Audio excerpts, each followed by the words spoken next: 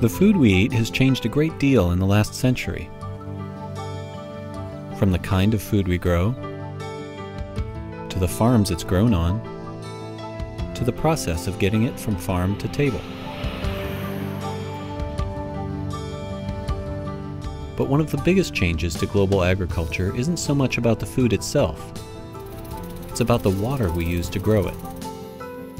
Over the past century, we've gone from a situation where farmers depended almost exclusively on rainfall for their crops to a realization that they could use irrigation to maximize crop output and grow crops in areas that may be too dry for where they would naturally be able to grow.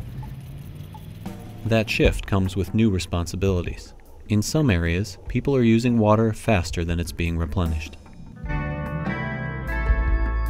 NASA satellites help us see how water moves from ocean to atmosphere to land, where we harness it for growing food. The big picture view they provide helps us understand how our water needs are being met today and where we might find ourselves short tomorrow. Increasingly, we're tapping into groundwater from underground aquifers to meet our demand. These aquifers, vast regions of water-saturated earth, can be huge, but hidden underground, they're difficult to observe. How do you study what you can't see? The unlikely answer, go to space. A pair of satellites called GRACE is on a special mission. They're carefully mapping delicate variations in the Earth's gravity. Our planet's gravity isn't the same everywhere. Objects with larger mass, mountain ranges for instance, exert a stronger pull. So do huge bodies of water, like aquifers.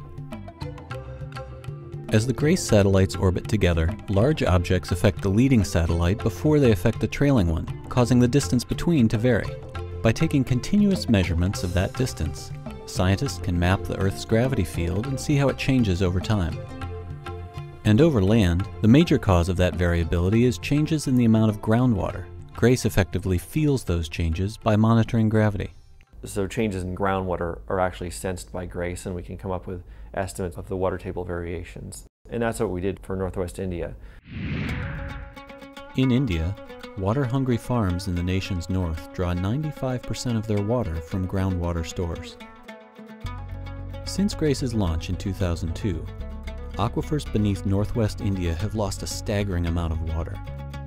Three times as much water as is held in Lake Mead, America's largest reservoir, is gone. The people of India know this is happening. They know this because their wells occasionally run dry and they have to dig a deeper well. In some cities, the wells are running dry so fast that people spend their entire day trying to find a clean source of water for their, for their family. If the aquifer continues to decline, the region's agriculture faces an uncertain future, as do the almost 115 million people who live there. India is not alone. Other major aquifers, like those beneath northern China and the central US, are also in decline. Water is critical to people. I mean, it's a, it's a vital resource, obviously. So being able to understand the water cycle and how it's changing is important as we move forward in a highly populated world with potential climate change going on. And NASA satellite observations um, are extremely valuable to getting a, an unbiased uh, view of what's going on with the water cycle. Water resources will become even more scarce in the coming century. The GRACE satellites can't help us recoup what we've lost, but they do give us something valuable. Knowledge we can use to shape our future in an increasingly hungry and thirsty world.